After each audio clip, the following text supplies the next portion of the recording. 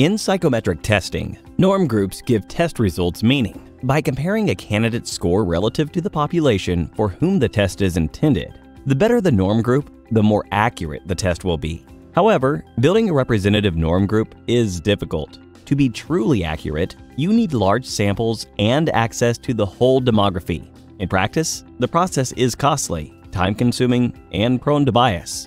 Most test providers simply don't have the resources to build good norm groups, so they end up compiling only data they have available, resulting in norm groups that are skewed and have disproportionate representation of certain demographics. This, in turn, affects the accuracy of their tests. But good norm groups do exist. They are usually built from tests meant for research and academic purposes, meaning they are well funded, have access to large samples, conducted by expert personnel, and vetted stringently. But because these tests were created for academia, they were not designed to be user-friendly or quick to take, making them impractical for companies to use when faced with many applicants during their hiring process. With advances in technology, it is now possible to leverage these norm groups and create independent tests that are just as accurate, but can be completed in a fraction of the time.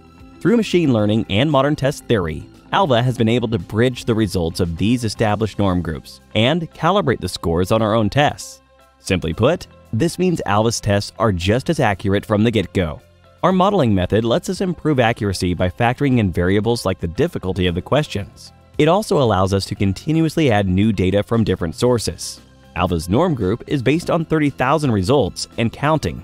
The more data we get, the more accurate our tests become. The result?